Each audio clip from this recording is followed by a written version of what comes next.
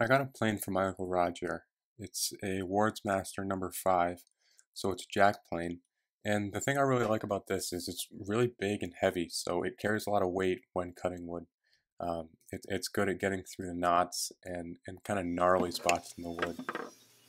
When I'm first taking it apart, uh, I noticed that it's in really good condition. Uh, the handles are in great condition, and that's kind of the biggest concern when uh, initially looking over the planes is because when there's cracks or dents or, or any problems with the handles, those are going to be the hardest to replace. It was nice to see that the steel and the brass were in really good condition as well. Uh, the brass is naturally softer than the steel, but those were in really good condition. They didn't really have any dings or dents, and, and that was nice to see. The steel had a little bit of corrosion on it, some rust and some pitting in some spots, but that's easy enough to remove. After I had the plane disassembled, I took the uh, some of the metal parts to the wire wheel and those actually cleaned up really well. I've got a pretty aggressive wheel on there, but it seemed to work really well.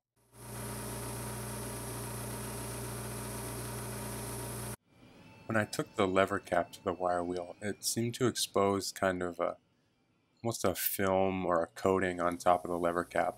Um, but with enough work, it, I was able to get that out.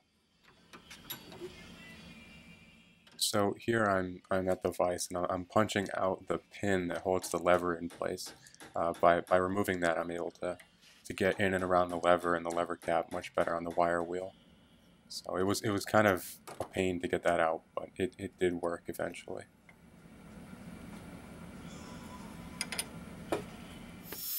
Getting inside the back of the lever cap was a little bit of a trick. Um, it, I couldn't get in there with the wire wheel, but I had a brush attachment that fit in the drill, and that actually seemed to work really well. I then started working on some of the screws and bolts, um, and these ones have the brass heads on them, and those look really nice when they're cleaned up. The cutter nut was another one of those tricky pieces to work with on the wire wheel, but using the vice grips I was able to hold it pretty stable. Um, just like with the lever cap, I wasn't able to get into every little nook and cranny of the piece, so I brought it over to the vise and I used that brush attachment for the drill again. And it, it didn't do a whole lot, um, but it seemed to help a little bit.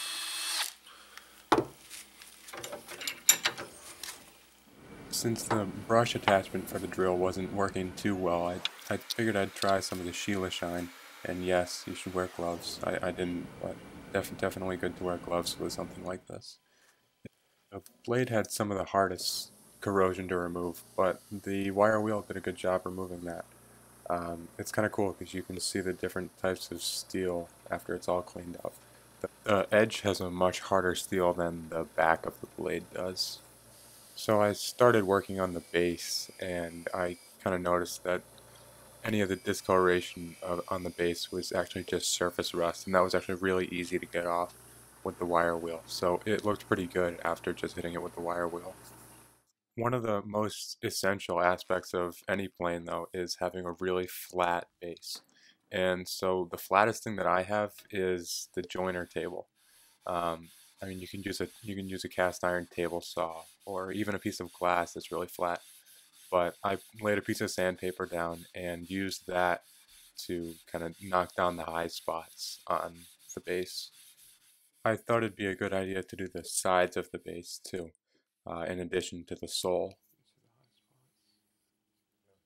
Just like with the pin on the lever cap, I wanted to remove the pin on the frog that holds this little blade adjustment uh, lever so that I could get in there and clean it up the best I could. This one was tricky to remove too, but with a little bit of work I was able to get it out. I don't think that they're made to be able to be removable, but I did my best to get it out and it worked. So now with everything removed from the frog that I could remove, um, I, I did take it to the wire wheel and cleaned up all the all the exposed paint that I could. And so I'm taping off all the spots that I want to remain unpainted. I noticed that a lot of times it's nice to have a good sharp knife to be able to more precisely lay the tape down and then get a better finish. I wanted to go with the original color scheme, so I painted it a nice gloss red. It's definitely important to go with a good quality spray paint. The, the low ball spray paints just aren't going to be as durable and they're not going to leave as nice a finish as a good one. I used Rust-Oleum and, and that's the one I typically use.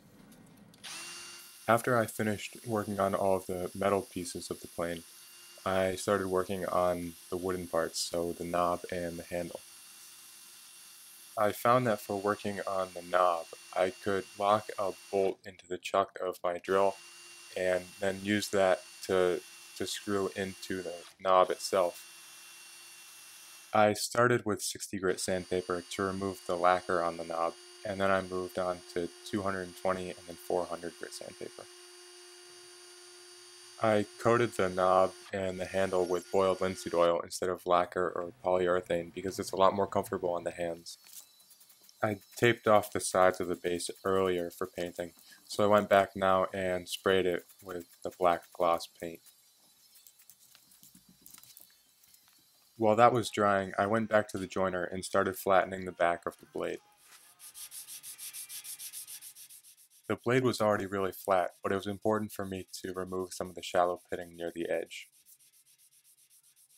It's a little bit hard to see, but after a few minutes with the 220 grit sandpaper, I started to get a really nice uh, surface on the back of the edge.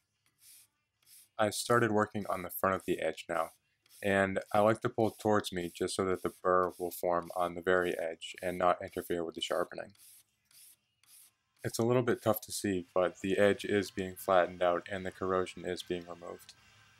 I kept working with the 220 grit sandpaper until all the corrosion was removed from the front and the back of the edge.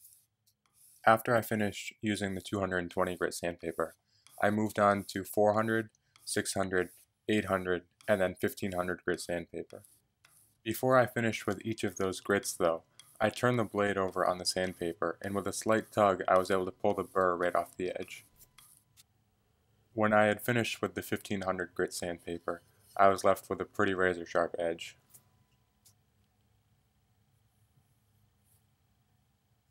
Now, usually the cap iron isn't the first thing you would think you'd want to sharpen, but when the wood shavings first pass over the blade, the cap iron is the first thing that they're going to come in contact with, so it's important to have a slick surface for that.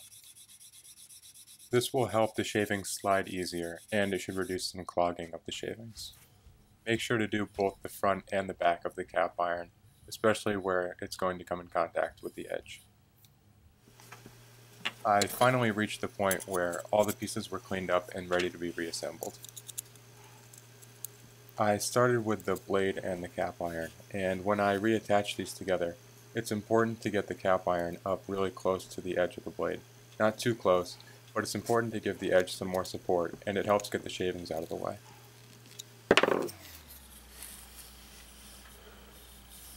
Clearly I was having some trouble watching what I was doing in the viewfinder.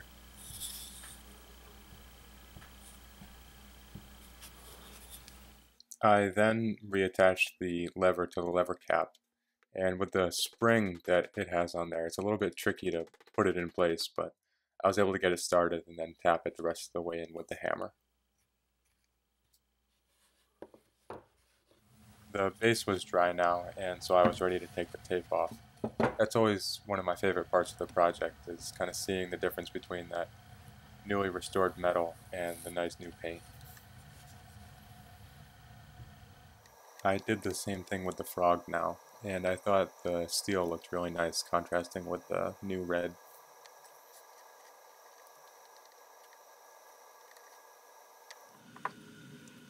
I realized that I wasn't able to screw the adjustment tab in with the cutter nut uh, screwed in place, so I had to take the cutter nut off and then and then finish screwing the adjuster tab back in.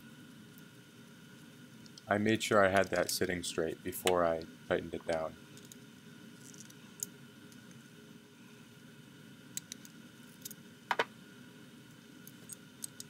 Then I put the cutter nut back on um, but it's interesting because the cutter nut has a slot in it, specially designed to let the lever, the blade adjustment lever run in it. So I had to make sure that I got that lever into the slot on the cutter nut before I tightened that down.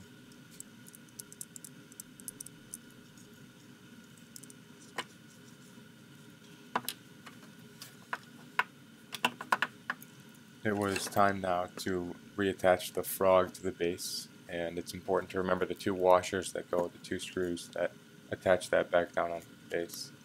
Also, it's important to make sure that the adjuster tab sits cleanly with the adjuster screw. The adjuster screw and the adjuster tab are now down under the cutter nut, so it's out of sight in this picture.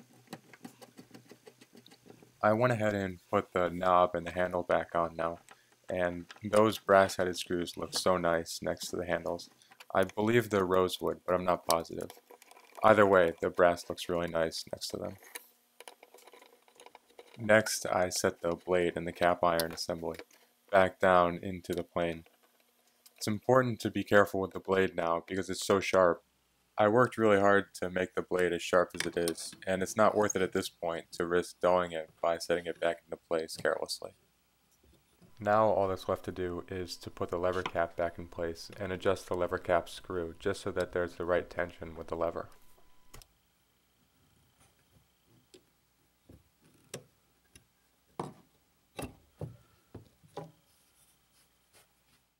All in all, the project turned out really nicely. It was nice to be able to restore the wood handles, the metal, and give it a new coat of paint. And with the really sharp blade and quality construction, it does its job really well. It was a fun project, and it's my favorite way to grow my tool collection.